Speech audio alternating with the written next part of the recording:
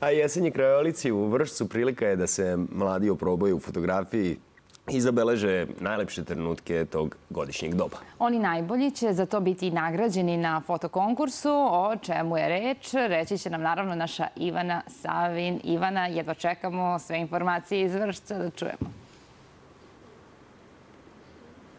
Evo, javljam se iz sunca okupanog Vršca ovaj, e, gde je u novembru počeo fotokonkurs. Dakle, e, reč je e, Vršac moj grad u jeseni 2024. A više o tome ko može da učestvuje i koja je tema konkursa, reći će mi član Gradskog veća za kulturu Trajan Kačina.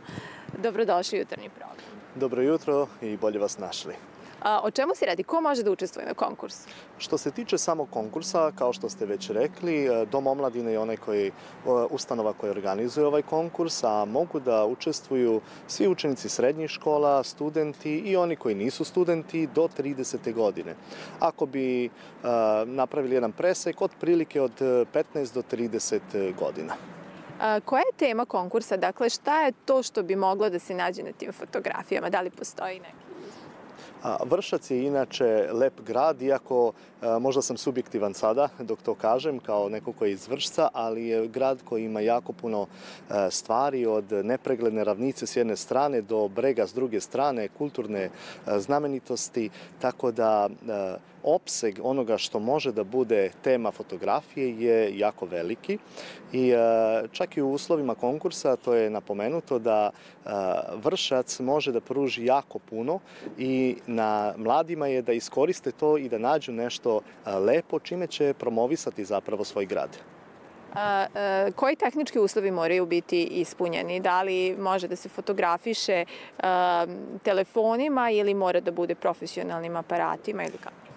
Imajući obzir da današnji telefoni su skoro kao profesionalni aparati, svaki bolji telefon je, odnosno ima tehničke uslove potrebne za to, tako da može da bude slika telefonom, može da bude profesionalnim aparatom, ali ono što je najbitnije jeste da svaki učesnik može poslati najviše dve slike na adresi Doma omladine, na sa naznakom za fotokonkurs i nakon toga stručni žiri će birati najlepšu fotografiju odnosno nekoliko najlepših fotografija i naravno za to postoje određene nagrade koje će biti uručene.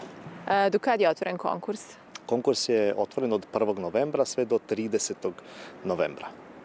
Dobro, hvala puno na ovom razgovoru, a, pozivamo dakle sve mlade vršćane i naravno goste vršca da se oprobaju fotografiji i otkriju neke jesenje pejzaže i lepote vršca u jeseni 2024. godine. Studio.